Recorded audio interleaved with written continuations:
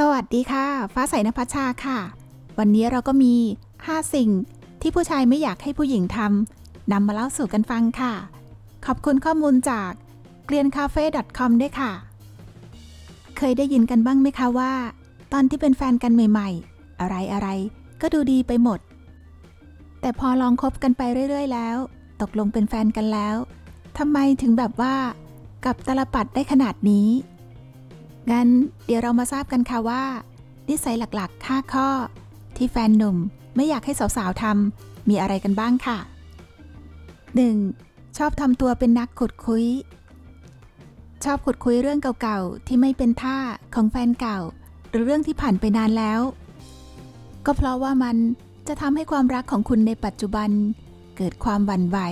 เกิดความไม่มั่นใจ ยิ่งเวลาที่ทะเลาะกัน ยิ่งไม่ควรยกขึ้นมาอย่างเด็ดขาดค่ะ 2. ไม่ยอมรับฟังคนอื่น คุณควรจะยอมรับฟังความคิดเห็นหรือเรื่องราวของแฟนบ้าง ไม่ใช่ให้เขารับรู้ รับฟังคุณเพียงฝ่ายเดียว คุณสาวๆเองก็ต้องเป็นฝ่ายรับฟังเขาบ้างนะคะ ไม่ใช่มีแต่เรื่องของเราที่สำคัญที่สุด เพราะถ้าเราเอาแต่พูดอยู่ฝ่ายเดียว มันก็ไม่แฟร์กับเขาเลยค่ะ 3. ชอบทำตัวเป็นเงา ตามติดเขาแจ คุณสาวๆ ควรแบ่งเวลาให้แฟนหนุ่มมีโลกส่วนตัวบ้างนะคะ เพราะบางครั้งเขาเองก็อยากจะมีสังคม อยากจะไปสนุกสนาน เฮฮากับเพื่อนๆบ้าง ไม่ใช่จะมาคอยติดอยู่กับสาวๆ ตลอด 24 ชั่วโมง ก็ขนาดตัวเราเองก็ยังอยากมีเวลาเป็นส่วนตัวบ้างเลยเนอะ 4. ชอบออกคำสั่ง มีแฟนนะจ๊ะ ไม่ใช่มีลูกที่จะได้สั่งสั่งตามใจอย่างเดียวเลย เพราะฉะนั้นคุณไม่ควรออกคำสั่ง ให้แฟนของคุณทำโน่นทำนี่ให้ได้ดั่งใจ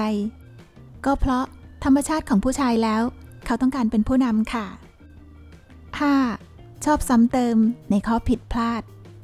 อดีตก็คืออดีต ควรให้มันผ่านไปเถอะค่ะ อย่าไปพูดจาให้เขารู้สึกแย่ลงไปอีก ถ้าหากคุณ ชอบเอาเรื่องที่เขาผิดพลาดในอดีต มาตอกย้ำอีก ก็ยิ่งจะทำให้คุณทะเลาะกันทำให้ความสัมพันธ์ของคุณเกิดปัญหาได้อีก ดังนั้นแล้วเรื่องบางเรื่องปล่อยผ่านบ้างก็ดีค่ะ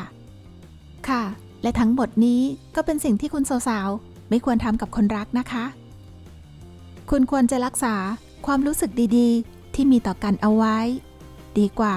จะสร้างความลำบากใจให้กันค่ะ เพราะนอกจากจะทำให้ชีวิตคู่ของคุณไม่มีความสุขแล้ว วันหนึ่งเขาอาจจะเดินจากคุณไปก็ได้ค่ะ ดังนั้นหากคุณเจอคนที่ใช่แล้ว เจอคนที่ดีๆแล้ว ก็จงรักษาเขาเอาไว้ค่ะสำหรับคลิปนี้ขอบคุณทุกๆคนค่ะ ฝากกดติดตามเป็นกำลังใจให้กันด้วยนะคะ สวัสดีค่ะ